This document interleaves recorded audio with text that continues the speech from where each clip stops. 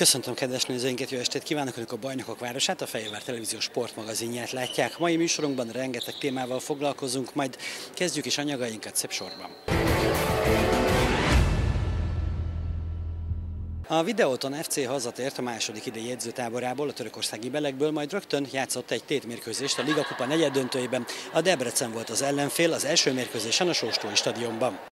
Határozottan támadó szellemben kezdte a videóton FC a DVSC ellen Liga Kupa negyed döntő első mérkőzését. A fejváriak főleg a Kovács Nikolis duónak köszönhetően veszélyeztettek, azonban a debreceni hálóőr Verpec a helyén volt és valamennyi próbálkozást hárította. A Debrecen is vezetett néhány támadást, azonban az első félidő közepére elfogytak a helyzetek, de csak azért, hogy a nyitó 45 perc hajráját ismét megnyomja a videóton. Gólt ebben a periódusban nem tudtak szerezni a hazaiak, azonban egy emberelőnyt kiharcoltak a 45. percben, Ramos állította ki Iványi játékvezető, miután lekönyökölte Tóth Balást. A második félidőt vehemensen kezdték a piroskékek, ami természetesen köszönhető volt az emberelőnynek. Sokáig jól tartotta magát a Debrecen, melyet az 59. percben például csak a kapufa mentette meg a góltól, egy remek kiugratás után Gyurcsony este a labdát a hosszú sarok felé, a kapufa azonban hárított.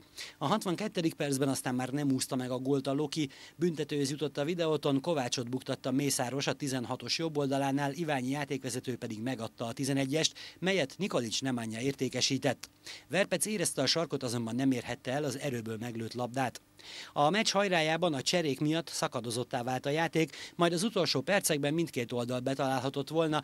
A 88. minutumban Kulibali lépett ki egyedül, azonban közelről Bozsovicsba lőtt, majd nem sokkal később Verpecnek kellett a másik oldalon bemutatni egy nagy bravúrt. Az eredmény már nem változott, 1-0-ra nyerte a Vidi, így minimális előnyt szerzett a Liga kupában. José Gomes a meccset követő sajtótájékoztatón elárulta, szerette volna eldönteni a továbbjutást már az első meccsen. We could play we could score also when the team play with 11 players.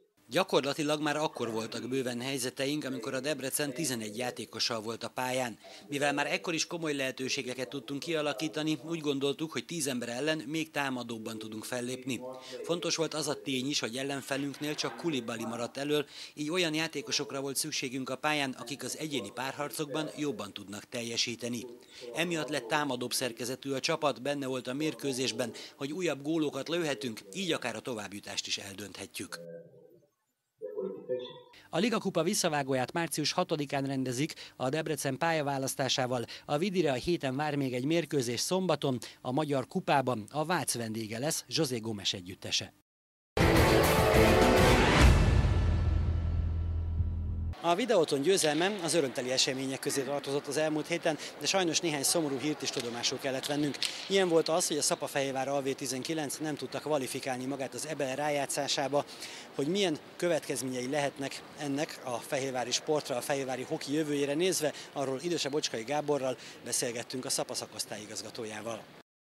Összegzés és előretekintés. Bár a Szappa Fehérvár számára egy mérkőzés még hátra van az Ebel szezonból, már mindenki inkább azzal foglalkozik, mi nem sikerült az idén, és hogy merre tart tovább a Fehérvári hoki útja. Természetesen ezek a kérdések foglalkoztatják a szakosztály igazgatóját is. Az idei év előtt elég komoly változások hajt, lettek végrehajtva a kereten belül. Volt, aki távozott tőlünk, légiós, akit szerettünk volna, hogy itt van, visszavonult a nagy ikonunk, a Krisztián.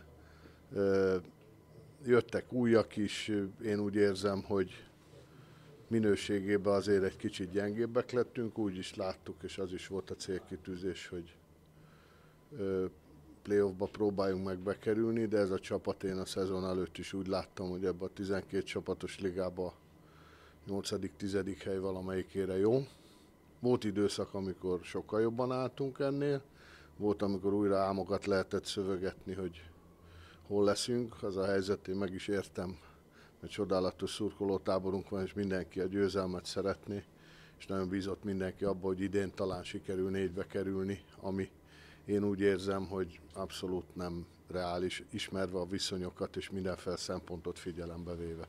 A mozgásterünk elsősorban anyagi okokból kifolyólag nem lehetett olyan, nem lehetett olyan versenyhelyzetet teremteni a pénztárcánk miatt, mint mondjuk, mondok egy példát, hát Salzburgban 50 játékos megfordult a szezonba. Mi gyakorlatilag Netszre vagyunk mindig éppen annyian, ha nincs sérült, hogy 20 plusz két kapus. Ha nem, akkor jönnek föl a Zebel 20-ból a Varga vagy a Német Attila, vagy a Rajna Miki most például, amikor a Bence sérült. Tehát gyakorlatilag mi oda a halastónak abban a részébe nyúlunk bele, ahol még a, a méreten aluli pontyok vannak csak. Én nem azt mondom, hogy emiatt nem kerültünk oda a végén, mert ennek ellenére eh, a mi csapatunk az oda kerülhetett volna. Egy kicsit, eh, hát elment az idő, egy-két játékos már nem karonülőkorú, eh, teljesítményekben vannak hullámzások, és voltak. Tehát volt, aki jól teljesített, természetesen voltak többen, akik nem annyira. Hát ezt kell majd jól átgondolva kiértékelni, és a, a menedzsmentnek a szponzorokkal karöltve meg kell határozni a jövő útját. Ami a hogyan továbbot illeti, sok múlik az anyagiakon a város támogatásán, a szakmai irányvonalat tekintve pedig megjósolható előtérbe kerülnek a fiatalok, akár azok is, akik még csak az akadémiát végzik.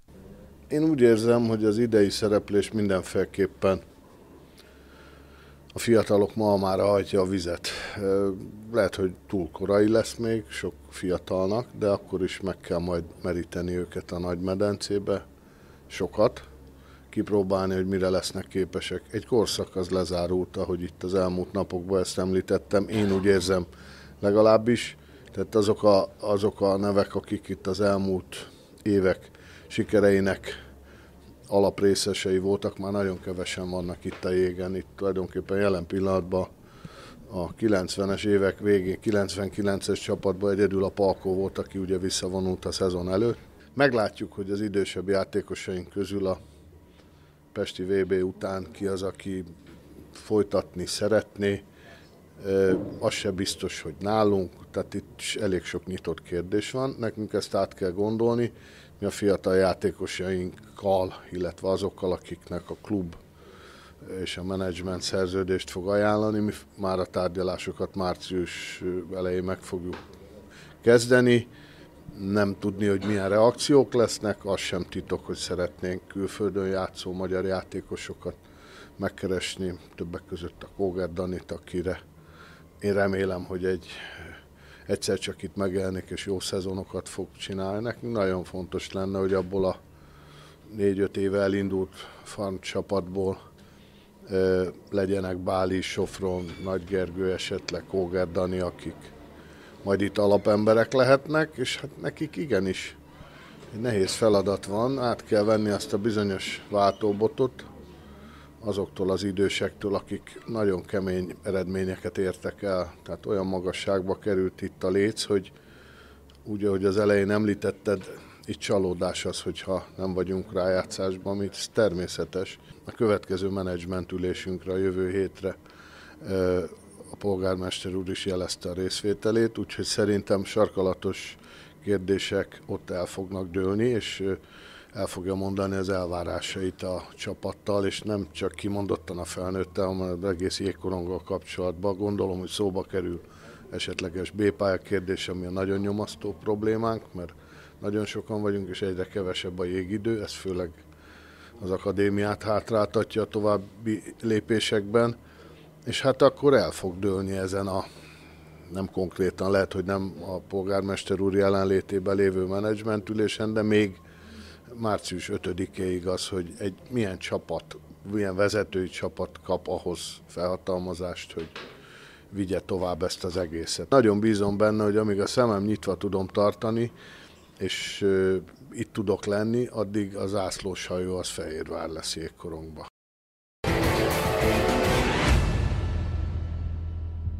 Hajrájához közeledik a női kézlabda bajnokság alapszakasza. Az FKC harcban van azért, hogy odaérjen a legjobb négy közé. Elméletileg még ez is megtörténhet. Ez azonban nyerni kell az olyan meccseket, mint például a hétvégi Debrecen elleni hazai összecsapás. A csapatot meglátogattuk az egyik edzésen, hogyan készülnek a DVSC ellen. Szombaton újabb, az alapszakasz végeredményének szempontjából nagyon fontos találkozót játszik a Fehérvár KC. Tilingerék 18 órától azt a Debrecent fogadják, melyet ősszel szoros meccsen egy góllal vertek idegenben. Kötelező hazai győzelemre számítok, amit nyilván nem fognak ö, ö, olcsón adni, hogy itthon tartsuk a két pontot. Ö, fiatal, motivált csapat, ö, de ennek értelmében nyilván vannak olyan pontjaik ö, a meccsrutin hiányába adott szituációkat nem biztos, hogy jól tudnak megélni. Azt hiszem, hogy mindenképpen az első pillanatra egy olyan nyomás alatt kell tartani őket, ami, ami egyértelművé teszi a, ami hazai pályán kellő fölényünket. A Debrecen elleni mérkőzés a játékerő és a tabellán elfoglalt helyezés alapján is a kötelező győzelem kategóriába tartozik, ami valljuk meg hordoz magában némi veszélyt. Siti Beáéknak így a fizikai, taktikai tréningek mellett a mentális felkészítésre is oda kell figyelniük. Nyilván ez az egyik része, amilyen a másik az övék. Tehát kétszer ugyanabba a folyóba nem szeretnénk belépni. Ezeket az ő játékos fejlődésükhöz hozzá kell tudni tenniük. Tehát mi ezt mondjuk, felhívjuk a figyelmet pontosan, hogy az ilyen kötelező győzelemnek megvan a maga terhe, de ezt el kell tudni viselni. Siti Beára az FKC mellett a válogatottnál is komoly feladatok várnak, sőt, most még inkább szükség van szakmai, emberi kvalitásaira. Néhány hete az egész hazai, de talán a nemzetközi kézilabdatársadalmat sokkolta a hír, hogy Kárlerik Bönnél a magyar válogatott szövetségi kapitányánál leukémiát diagnosztizáltak. Abszolút mindennel érzékeli a támogatást a szurkolók részéről, a szövetség részéről. Ha most a legutóbbi, amikor a Győr ugye kint volt Norvégiában. Én azt hiszem, hogy az is egy olyan fajta demonstráció volt a játékosok, a, a, a szurkolók, a, a pólókkal. Tudom, hogy bementek a győri vezetők, voltak nála Oszlóban, meglátogatták. Én azt gondolom, hogy tényleg napi szinten az SMS-ek, az e-mailek, minden jó szó, őt tényleg amivel lehet, avval megpróbáljuk érzékeltetni. Nyilván a legjobb az lenne, ha mondjuk mi a stáb részéről találnánk egy olyan napot, csak amikor ki tudunk menni, ott tudunk lenni személyesen vele egy pár órát. Erre még nem találtunk időpontot, illetve most miután elkezdődött a, a kemó időszaka és közvetlenül az, az azutáni nehézségek, azok azt hiszem, hogy még nem teszik alkalmassá ennek a látogatásnak a, az aktualitását, de, de ez elvileg a tervünk, hogy, hogy valamikor meg, mi is meglátogatjuk személyesen. A következő hetekben, hónapokban itt Siti Beára és a szakmai stábra hárulnak a feladatok, így a március végi tatai összetartás levezénylése is. Megpróbálunk egy részben minimális fizikai rész, részben regeneráció, hogy újra együtt legyünk.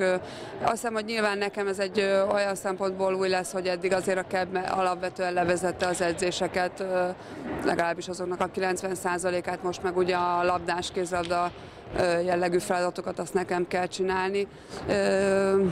Én hiszek ebben, hogy mondjuk ebben a szituációban a lányok azok hihetetlen jó partnerek lesznek abban, hogy, hogy tudják azért, hogy ez nekem nem kis falat, és én is megpróbálok tényleg úgy felkészülni ezekre az edzésekre, amivel a legjobban egyrészt a válogatottnak a szűk munkáját, másrészt, hogy tényleg úgy menjenek vissza a játékosok a klubjukba, hogy, hogy egy értékes hetet töltöttünk együtt. A Krista az egészen biztos, hogy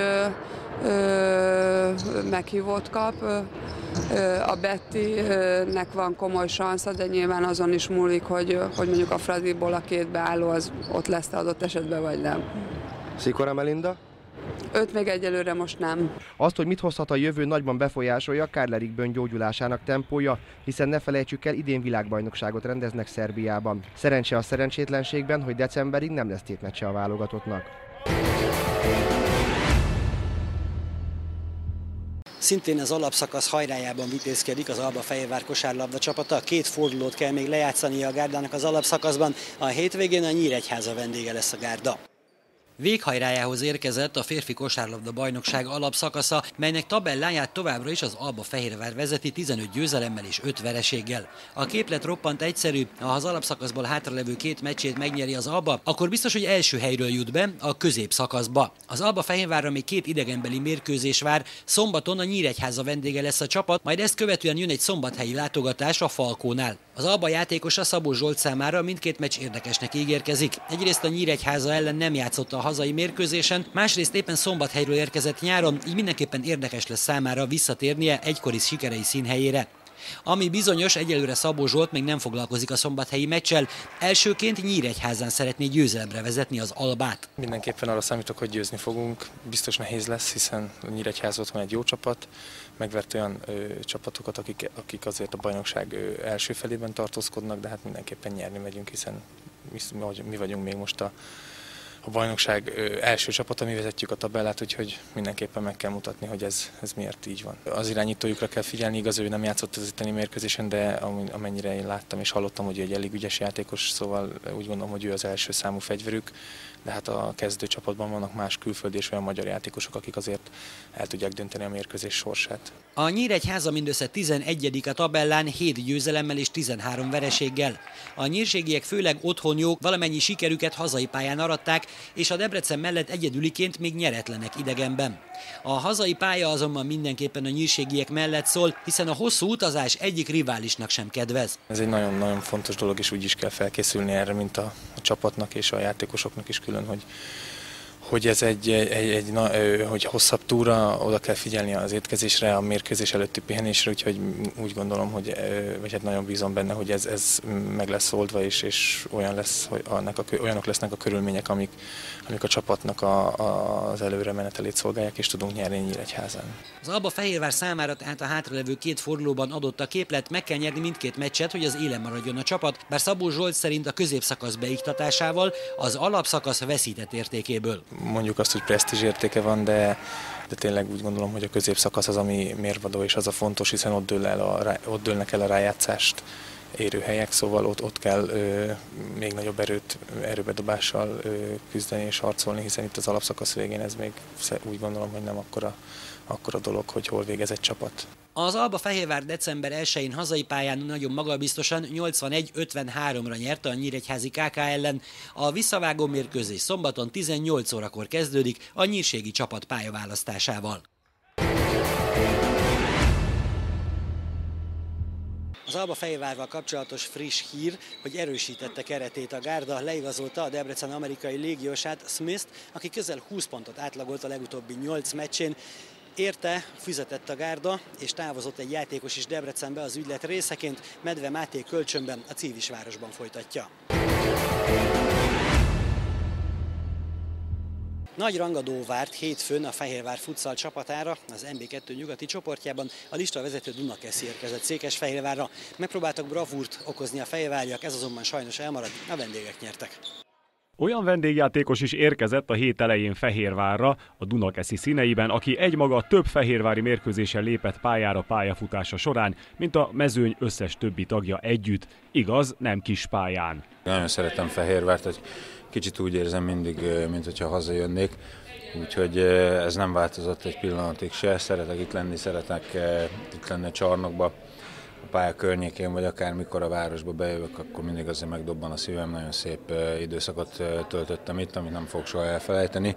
Azt is tudom, hogy nagyon sokat köszönhetek Fehérvárnak, és szívem közepén ott is van mindig.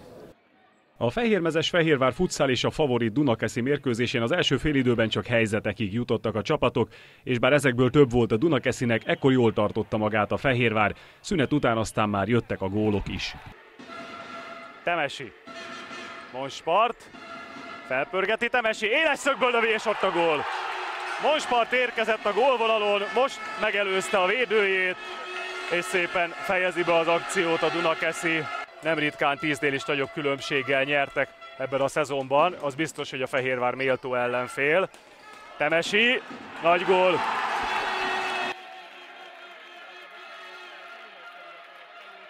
Temesi átvehette. Nem volt szabálytalan egyébként, valóban nem. Neki esett a mellette elfutó játékosnak, de vele szemben nem szabálytalankodtak. Ott a gól! Ez viszont Kihasználva, hogy a kapus semmit sem láthat a labdából, remek góllal szépít Horváth Zsolt, 2-1. Csáfár hozza befelé. Kun foglalja el a pozíciót, és begurítja.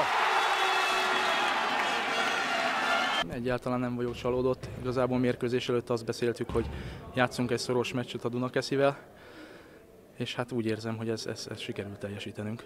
Azt beszéltük meg, hogy visszaállunk, próbálunk masszívan védekezni és a labdaszerzésekből gyors támadásokat vezetni.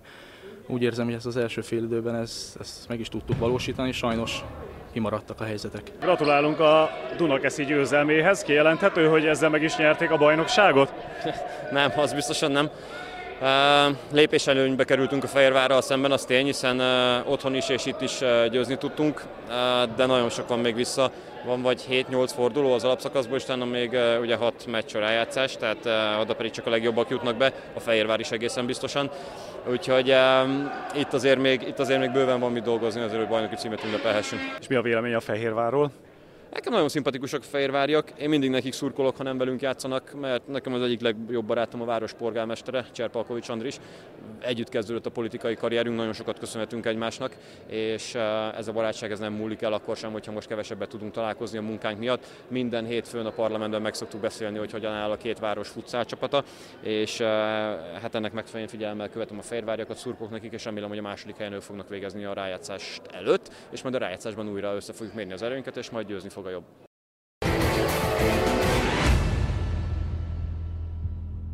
Az idei esztendő első jelentős atlétikai versenyét a hétvégén rendezik, majd a Szima csarnokban ekkor kerül sor a fedett pályás országos bajnokságra. Az OB-n ott lesznek az arak atlétái is, hogy milyen esélyekkel, arról Tölgyesi előtt szakosztályigazgatóval beszélgettünk.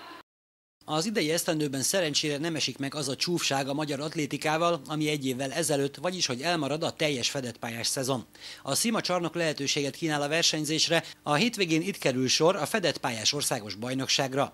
Az arak atlétáinak felkészülését sérülések, illetve betegségek is nehezítették. A legnagyobb kérdés az volt, hogy a többszörös bajnoknő Babos Rita elindulhat-e majd az országos bajnokságon, miután Achilleszín sérülés szenvedett a szezonnyitó budapesti nemzetközi versenyen.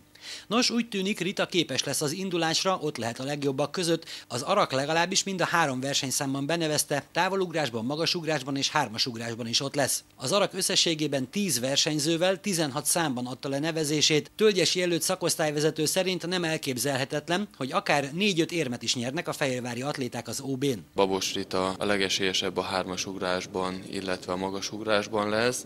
Ezek pont vasárnap egymást követik, e, a két versenyszám egymást egymást, viszont szombaton van a távolugrás, ahol nem szeretnénk kockáztatni az ő lábának az egészségét, pont azért, hogy vasárnap tudjon a csúcs a legjobb versenyszámában csúcs teljesítmény nyújtani. Rajtuk, rajta kívül, aki egyértelműen éremesélyes, hajóalában mind a három versenyszámban, de különben a hármas és magasugrásban egyértelműen, a ranglistán, mert ugye van papírforma és ranglista, eh, László Dávid még eh, papírformán eh, nyerhet érmet, László Dávid szintén hármasugrásban, és Turcsi Kati pedig 60 méteres síkfutásban lehet ott a, a dobogon. Szabódani 60 méteren az idejével biztos döntős lehet 17 évesen is a, a felnőttek között, viszont ő is két hetet ki kellett hagyjon, és ez nem múlik el nyomtalanul. A országos bajnokságon fog kiderülni, hogy milyen állapotban van. Mivel hazánkban meglehetősen kevés lehetőség van a fedett pályás atlétikára, adódik a kérdés, a fejvári szakember milyen erőségű országos bajnokságra számít. Minden országos bajnokságnak megvan a rangja, a Magyar Atlétikai Szövetség mindent elkövet, hogy a, a pillanatnyilag legjobbak tényleg rajthoz is álljanak. Én úgy gondolom, hogy aki nem így fogja föl, az, az eleve hibás, tehát magyarul biztos, hogy a, aki él és mozog, az egy országos bajnokságon rajthoz áll. Tény és való, hogy az országban a feltételei a fedett pályás atlétizálásnak ilyen magas szinten nagyon kevés helyen van meg, Fehérvár majd egy év múlva már sokkal kedvezőbb helyzetben lesz ebből a szempontból. Most még mi is kint edzünk és, és tornatermekbe készülünk föl, de ettől függetlenül a verseny az verseny, ott mindenki nyerni szeretne, ott mindenki egyéni csúcsot szeretne elérni, jól akar szerepelni, Úgyhogy én úgy gondolom, hogy ha nem is elsősorban az eredményekben fog megmutatkozni, hogy milyen jó ez a magyar bajnokság, de nagyon szoros és izgalmas versenyeket foghat, fogunk látni. Az OB-t február 23-án és 24-én rendezik majd meg a Szima csarnokban. Természetesen az arakos eredményekről a Fehérvár Televízió sportműsoraiban beszámolunk majd.